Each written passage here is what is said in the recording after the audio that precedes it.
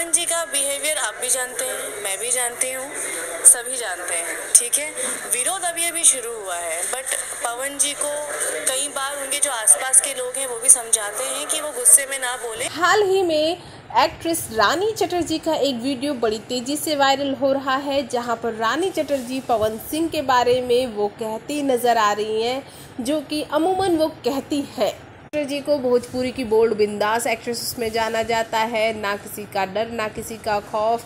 रानी चटर्जी भोजपुरी की उन एक्ट्रेसेस में से हैं जो अपने दम पर फ़िल्मों को चलाती हैं। इसलिए कई ऐसी वुमेन ओरिएंटेड मूवी है जो रानी के खाते में है। वैसे आप सभी जानना चाहते होंगे कि रानी ने क्या कहा तो हमने आपको वीडियो की शुरुआत में ही सुनवा दिया कि रानी चटर्जी ने पवन सिंह के बारे में क्या कहा है।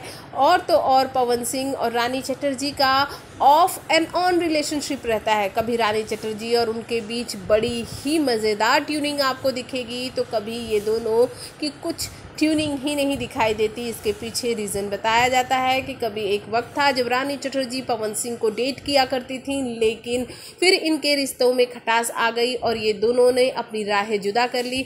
एक ऐसा वक्त आया जब रानी चटर्जी ने पवन सिंह के ऊपर इल्ज़ाम लगाया था कि उन्हें मारने के लिए पवन सिंह ने गुंडे भेजे हैं, और बाद में एक ऐसा वक्त भी आया जब इन दोनों के बीच काफ़ी अच्छी दोस्ती हो गई इन दोनों ने एक साथ।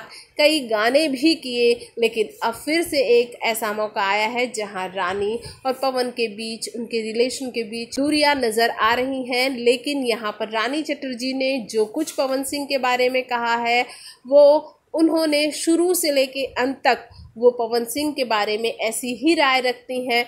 ऐसे में जो कमेंट रानी चटर्जी ने पवन सिंह पर किया है, आपका क्या कहना है? हमारे कमेंट बॉक्स में कमेंट कीजिए, साथ ही चैनल को सब्सक्राइब करना बिल्कुल ना भूलिए।